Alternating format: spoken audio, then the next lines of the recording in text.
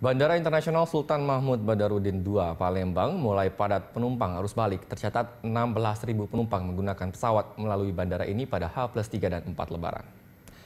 Pihak Angkasa Pura II mengatakan arus balik pada 18 hingga 19 Juni mengalami kenaikan hingga 16 persen dibandingkan tahun kemarin. Rute terbanyak adalah rute Palembang-Jakarta. Pihak Bandara SMB 2 Palembang memprediksi puncak arus balik akan terjadi pada tanggal 19 Juni, 21 Juni, dan 24 Juni 2018.